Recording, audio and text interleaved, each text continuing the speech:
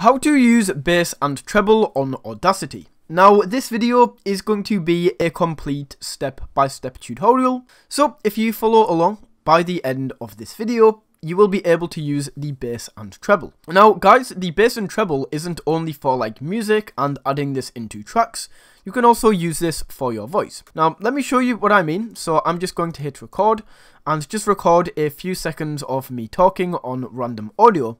Then I can hit stop and then all we need to do from here is apply the bass and treble. So what you want to do guys is whether this is a music track, whether this is your voice, it really doesn't matter. So you can either just choose the section that you would like to add bass and treble to by clicking and dragging and then you can see this highlighted section.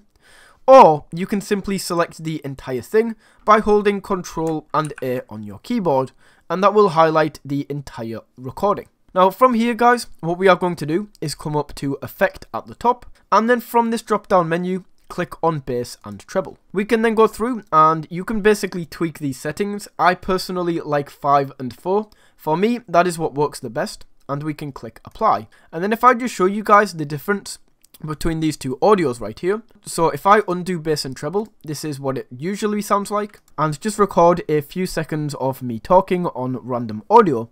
And then if I go ahead and re-add the bass and treble, this is what it sounds like with and just and just you guys will be able to see that it sounds a little bit fuller and a little bit more defined. And just record a few seconds of me talking on random audio.